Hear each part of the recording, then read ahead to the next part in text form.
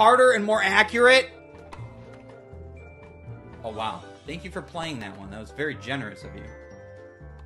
What? Are you kidding me? Did she just turn into Le'Veon Bell and run after that thing? What? What? What's her name?